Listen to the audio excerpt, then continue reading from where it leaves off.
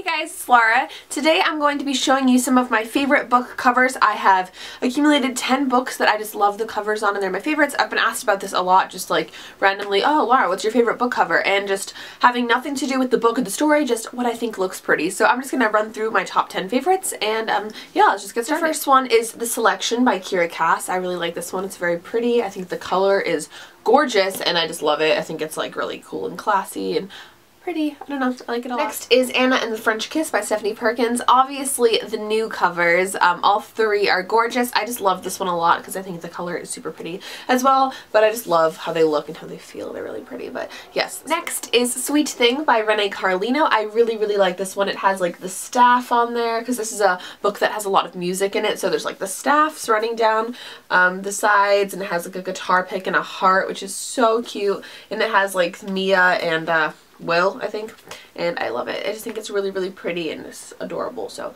I love it. I love this book. Next is Beautiful Oblivion by Jamie McGuire. I just think this is gorgeous. It has like the peacock feathers and the coloring is just so pretty and it's like metallic. I love it, so this is definitely one of my favorites. I think it's gorgeous. Next is Fangirl by Rainbow Rowell. It's kind of simple, but I really, really like it. It has, you know, Kath sitting on top of the letters and Levi leaning over, and it kind of has like the bubbles and her writing fan fiction, and it just describes the book really, really well, and I thought it was really cute and I love how it's a cartoon. I really also like the Eleanor and Park one, but I think this one I like a little bit yes, more. it's one of my favorites. Next is Cinder by Marissa Meyer. I know a lot of people don't really like this one, but I think it's so cool. It has like the mechanical leg and it's like just all kind of dark and then like the pop of red on the shoe and I just think it's gorgeous. I don't know, I really, really like it. So yes, and this is the paperback version, but I know the hard copy is obviously the same. But I do like it. I like how it feels and I think it's pretty. I just really like it. Next, we have The Duff by Kody Keplinger.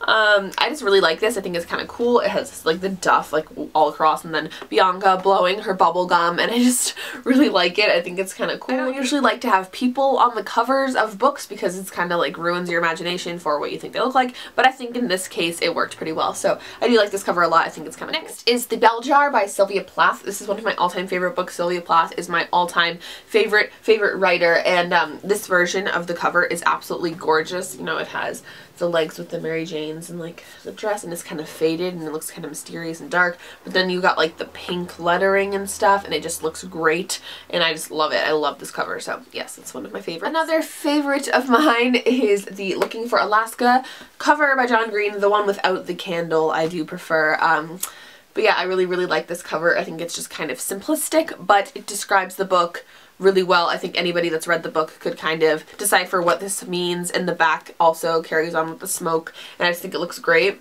So I really do like this cover. And the last book that I love the cover to is Beautiful Disaster by Jamie McGuire. A reason I really like this cover is because again it's kind of simple. It just has the jar with the butterfly in it and you don't really have to read the book to understand the cover, I guess, because it's Beautiful Disaster and then it's a butterfly trapped in a jar, which basically is a beautiful disaster, you know.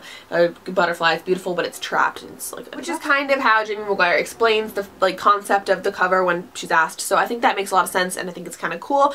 And it doesn't really have anything to do with the book, the butterfly in the jar that has like no meaning towards the book, but the beautiful disaster part does. But I like how it's like a beautiful disaster is the cover. It's like a literal book title, so I really like that a lot. So that's basically it. If you guys have any favorite book covers, make sure you let me know about them in the comments below. I'd be very interested to know, and I'll make sure I get back to you as soon as I can. So I hope you guys enjoyed this video. Make sure you give it a thumbs up and subscribe to my channel if you haven't already, and I'll talk to you all very, very soon. Love you all. Bye!